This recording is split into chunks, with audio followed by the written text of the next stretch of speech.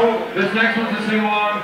This may be the last time you get to see CFL, so you guys can come up close and sing with me.